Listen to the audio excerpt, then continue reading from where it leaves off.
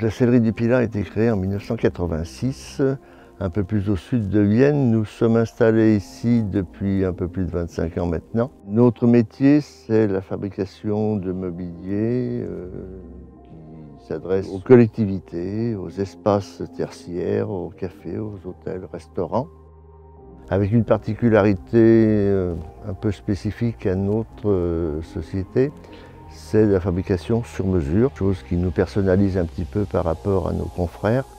Alors ces produits euh, qui sont assez complexes et particuliers, avec des formes souvent originales, sont adressés à des agenceurs, des designers, des architectes, euh, qui sont pleins d'imagination et nous demandent sans, cesse de, nous dépasser. La sellerie du Pilat a eu pour, toujours pour slogan une seule limite, votre imagination.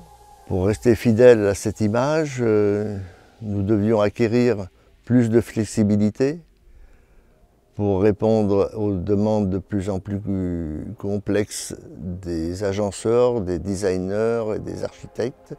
Nous voulions capitaliser notre savoir-faire sur des produits sur mesure, ou encore modulaires et adaptatifs, tout en conservant une grande liberté de modélisation en 3D. Nos outils étaient obsolètes. Et notre ambition de s'inscrire dans une démarche d'éco-conception nous a poussé à trouver une solution plus novatrice. nous n'étions pas dans la capacité de faire un choix euh, de logiciel. C'est pour ça que l'on s'est adressé à l'ONE via son programme UNR, euh, avec le soutien de la région Auvergne-Rhône-Alpes, métropole de Lyon et l'Europe.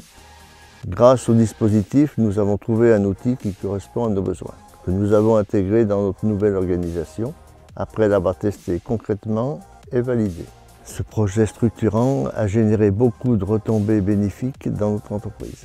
Il nous a permis d'avoir des rendus réalistes en 3D, d'améliorer notre réactivité, notre compétitivité et notre conception.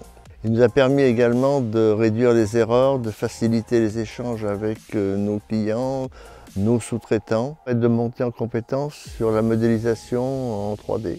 L'expérimentation logicielle nous a aidés à modifier profondément notre façon de concevoir, de travailler, de communiquer avec nos interlocuteurs internes et externes.